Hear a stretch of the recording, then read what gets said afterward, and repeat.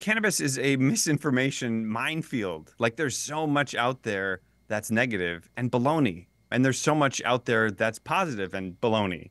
So you really have to doubt everything, and that to me is is home. I'm a skeptical scientist, and I'm also then skeptical of what the pharmaceutical industry is is kind of feeding me, and the traditional medical industry is feeding me. So I'm skeptical of everything. I'm I'm a pain at parties, but what that does mean is I can see outside of the box, and I can hear people and what I was hearing from my patients was that they loved that they were in control. It wasn't about what the doctor was prescribing them.